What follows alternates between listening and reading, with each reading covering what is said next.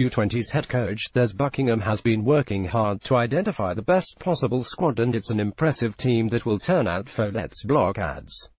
Why?